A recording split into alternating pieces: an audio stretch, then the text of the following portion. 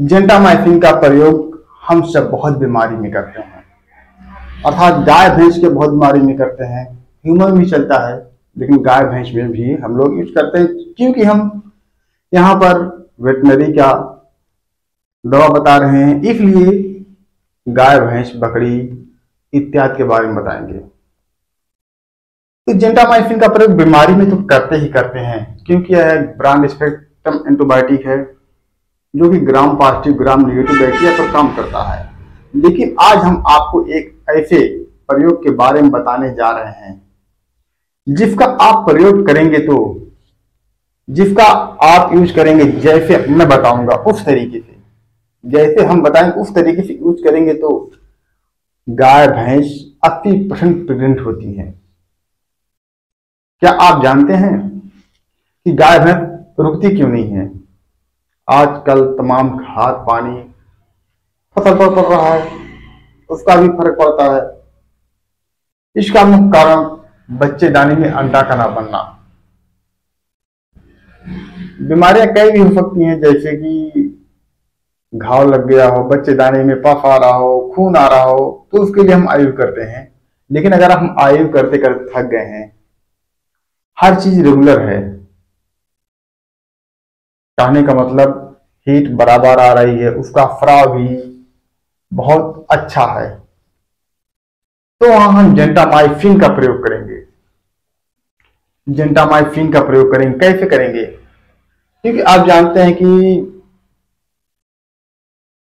जब हर चीज़ रेगुलर होता है तो ना रुकने का कारण 80 परसेंट, सत्तर परसेंट जो है बच्चे दाने में अंडे का ना बनना। और 20 परसेंट अन्य कारण हो सकते हैं आई में कमी, या चार भैंसे में कमी, ये भी हो सकते हैं। तो यहाँ पर ऐसी समस्या आ रही हो तो आप देख रहे हैं कि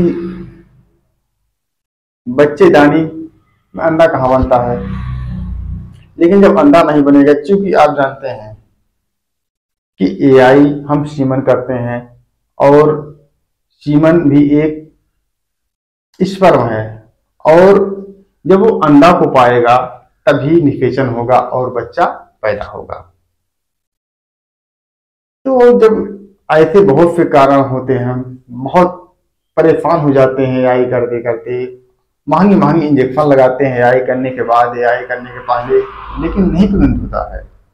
तो हमारे कहने पर एक बार एक एक फास्ती दवा का प्रयोग करिए। क्योंकि हम इसी का यूज़ करते हैं।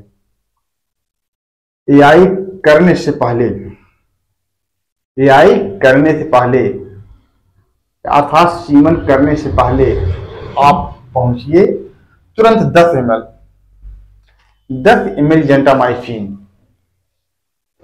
किसी भी कंपनी का हो 10 एम एल जेंटामाइफिन जैसे हम आयु करते हैं इंटरव्यूटाइन करते हैं, उसी तरीके से इंजेक्शन में भर के बच्चे दानी के अंदर डाल दीजिए। उसके बाद लगभग आधा घंटा बाद, या कम से कम तो 20 मिनट बाद याई करिए। याई करने के बाद देखा जाता है कि 80 परसेंट गाय भैंस प्रिंट हो जाती हैं। तो रही ना काम की बात। इसके पहले मैं आपको बता देना चाहता हूँ कि मैं बहुत दिनों से चैनल पे रेगुलर नहीं था, लगभग ढाई तीन मिनट, लेकिन अब हमारे चैनल पर आपको जानकारी बराबर मिलती रहेंगी।